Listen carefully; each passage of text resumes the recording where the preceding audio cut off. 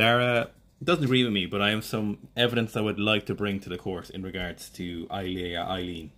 So, Exhibit A, we have full weight of the outfit, Polish training pants, and black Romaleos.